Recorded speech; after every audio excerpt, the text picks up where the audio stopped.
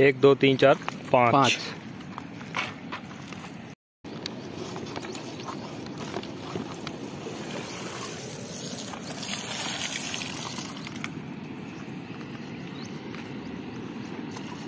ਕਿੰਨੀ ਦੀ ਜਗ੍ਹਾ ਅਜੇ ਗੱਲ ਵੀ ਕਰਨੀ ਆਪਾਂ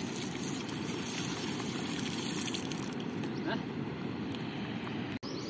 ਅਸੀਂ ਆਏ ਆ ਜੀ ਦਰਿਆ ਤੇ ਇਹ ਦਰਿਆ ਰੋਜ਼ ਹੀ ਸ਼ਾਮ ਨੂੰ ਸੁੱਕ ਜਾਂਦਾ ਹੈ ਜਾਂ ਪਾਣੀ ਇਦਾਂ ਕਹ ਲਓ ਵੀ ਪਾਣੀ ਜਿਹੜਾ ਹੈ ਬੰਦ ਹੋ ਜਾਂਦਾ ਹੈ।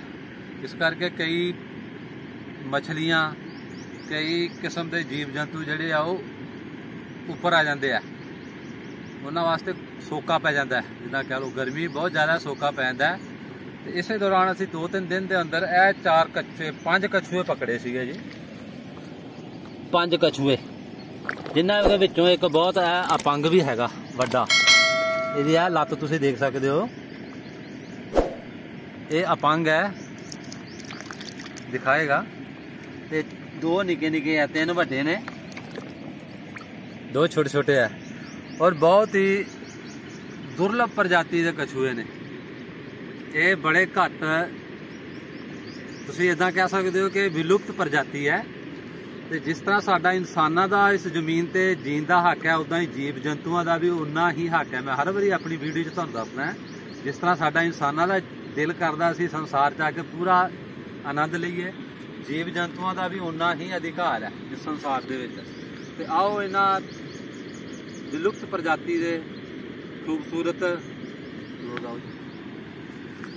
ਵਿਲੁਪਤ ਪ੍ਰਜਾਤੀ ਦੇ ਖੂਬਸੂਰਤ ਪੰਜ ਕਛੂਏ ਇਹਨਾਂ ਨੂੰ ਅਸੀਂ ਰਿਲੀਜ਼ ਕਰਾਂਗੇ। ਦੇਖੋ ਕਿੰਨੀ ਸ਼ਾਨਦਾਰ ਹੈ ਗਰਦਨ ਇਹਦੀ।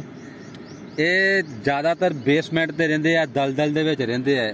ਦਲਦਲ 'ਚ ਰਹਿਣ ਵਾਲੇ ਕਛੂਏ ਆ। ਇਧਰੋਂ ਵੀ ਦੇਖੋ ਕਿੰਨੀ ਖੂਬਸੂਰਤੀ ਹੈ ਇਹਦੀ।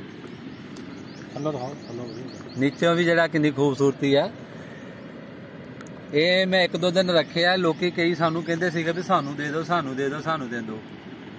ਲੈਣ ਦਾ ਤੇ ਲੋਕਾਂ ਨੂੰ ਬੜਾ ਚਾਅ ਆ। ਬਾਅਦ ਚ ਇਹਨਾਂ ਦੀ ਉਹ ਦੁਰਦਸ਼ਾ ਕਰਦੇ ਆ ਲੋਕੀ ਕਿ ਪੁੱਛੋ ਹੀ ਨਾ। ਹੁਣ ਆਓ ਇਹਨਾਂ ਨੂੰ। ਕੱਲੇ ਕੱਲੇ ਰਿਲੀਜ਼ ਕਰੀਏ। ਇਹ ਦੇਖੋ ਤੁਸੀਂ ਲੱਗੋ ਇਹਦੇ ਆ ਕਲੋਜ਼ ਆ ਬੇਟੇ। ਇਹ ਦੇਖੋ ਇਹਦੀ ਇੱਕ ਲੱਤ ਜਿਹੜੀ ਹੈ ਨਾ ਇਹਦਾ ਇੱਕ ਪੰਜਾ ਨਹੀਂ ਹੈ ਇੱਕ ਕਛੂਏ ਦਾ। ਇਹ ਪਤਾ ਨਹੀਂ ਕਿਸੇ ਸ਼ਿਕਾਰੀ ਨੇ ਕਿਸੇ ਜਾਲ ਚ ਆਇਆ ਦਾ ਜਾਂ ਕਿਸ ਤਰ੍ਹਾਂ। ਇਹ ਸਾਡੇ ਇੱਥੇ ਹੁਣੀ ਹੁਣੀ ਸਾਡੇ ਰਘੂ ਅਹ, ਮੇਚੀ ਸਾਡਾ ਛੋਟਾ ਵੀਰ ਮੇਚੀ ਮੇਰੇ ਤੋਂ ਛੋਟਾ ਬ੍ਰਦਰ ਹੈ। ਇਹਨੇ ਹੁਣੀ ਦੇਖਿਆ ਇੱਥੇ ਸ਼ਿਕਾਰੀ ਵੀ ਆਉਂਦੇ ਨੇ ਜੀ। ਇਹ ਦੇਖੋ ਇੱਕ ਡੋਰ ਪਈ ਦੀ ਹੈ ਇੱਥੇ ਇਹਨੇ ਦੱਸੀ ਦੇਖੀ ਇਹਨੇ ਜਸਟ ਨਾਓ ਇਹ ਵੀ ਗਵਰਨਮੈਂਟ ਨੂੰ ਹੈ ਜਿਹੜੇ ਲੋਕਲ ਸ਼ਿਕਾਰੀ ਛੋਟੇ ਛੋਟੇ ਇਹਨਾਂ ਨੂੰ ਖਾਣ ਦੀ ਕੋਸ਼ਿਸ਼ ਕਰਦੇ ਆ ਪਕੜ ਕੇ। ਜਿਸ ਤਰ੍ਹਾਂ ਇਹ ਡੋਰੀ ਹੈ ਕਿਸੇ ਦੀ, ਇਹ ਮੱਛੀਆਂ ਫੜਨ ਵਾਲੀ ਡੋਰੀ ਹੈ, ਇਹਦੇ ਨਾਲ ਕੁੰਡੀ ਹੈ। ਇਹ ਸਰਕਾਰ ਨੂੰ ਇਹਨਾਂ ਆ ਦੇਖੋ, ਗਲ ਚੁੱਕੀ ਹੈ ਕੁੰਡੀ ਇਹ। ਇਹਨਾਂ ਕੁੰਡੀਆਂ ਦੇ ਵਿੱਚ ਵਿਚਾਰੇ ਵਿਲੁਪਤ ਪ੍ਰਜਾਤੀ ਦੇ ਜਿਹੜੇ ਕਛੂਏ ਵਿਚਾਰੇ ਇਹ ਵੀ ਆ ਜਾਂਦੇ ਆ। ਤੇ ਇਹ ਤੇ ਜਿਹੜੇ ਆ, ਉਹ ਖਾ ਖੂ ਜਾਂਦੇ ਲੋਕੀ, ਲੇਕਿਨ ਇਹ ਤੇ ਪਾਬੰਦੀ ਗਵਰਨਮੈਂਟ ਨੂੰ ਲਾਣੀ ਚਾਹੀਦੀ ਆ। ਤੇ ਆਓ ਇਹਨਾਂ ਨੂੰ ਕਛੂਆਂ ਨੂੰ ਰਿਲੀਜ਼ ਕਰੀਏ ਜੀ।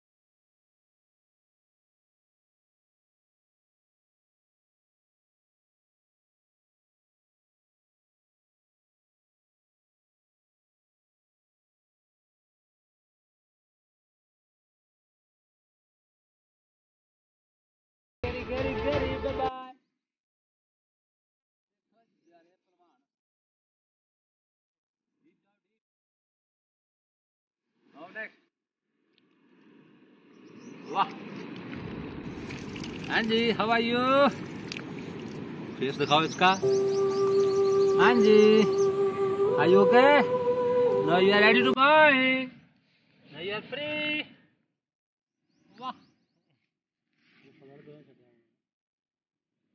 वाह चलो आगे आगे आगे आगे आगे आगे आगे चल देना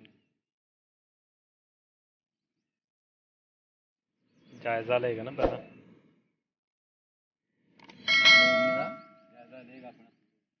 ਚਲੋ ਹੁਣ ਇੱਕ ਰਹਿ ਰਹਿ ਗਿਆ, ਉਹ ਵੀ ਛੱਡ ਦੇ। ਜਾ ਰਿਹਾ ਅੰਡਰਗਰਾਉਂਡ ਜੀ ਉਹ ਜਾ ਰਿਹਾ ਡੀਪ ਪਾਣੀ ਵਾਹ ਆ ਗਏ ਦੇਵਤਾ ਜੀ ਚਲੋ ਆ ਜਾਓ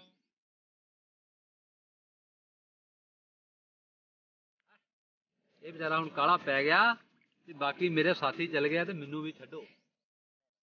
ਪੰਜਵਾਂ। ਦੇਖੋ ਕਿੰਨਾ ਆਨੰਦ ਆ ਰਿਹਾ ਕਿਸੇ ਨੂੰ ਆਜ਼ਾਦ ਕਰਨ ਦਾ। ਜੇ ਸਾਨੂੰ ਕੋ ਕੈਦ ਕਰ ਲੇ, ਕਿੰਨਾ ਦੁੱਖ ਹੁੰਦਾ ਹੈ ਇੱਕ ਦਿਨ ਲਈ ਵੀ। ਚਲ। ਵਾਹ।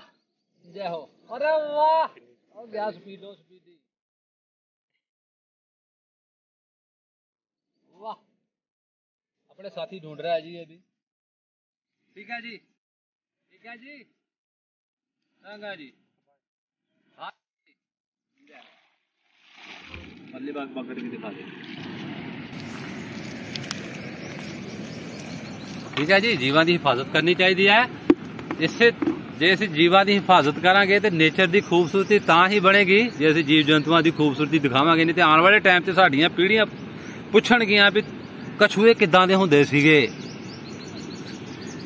ਨਸਲ ਬਰਬਾਦ ਹੋ ਜਾਏਗੀ ਜੇ ਤੁਸੀਂ ਕੇਅਰ ਨਾ ਕਰੋਗੇ ਹੁਣ ਇਹਨੂੰ ਵੀ ਡਿਸਟਰੋਏ ਕਰੋ ਜੀ ਇਹਨੂੰ ਨਾਲ ਹੀ ਲੈ ਜਾਓ ਇਹਨੂੰ ਨਾਲ ਹੀ ਲੈ ਜੰਨੇ ਆ ਇਹ ਕਿਸੇ ਦੀ ਡੋਰੀ ਹੈ।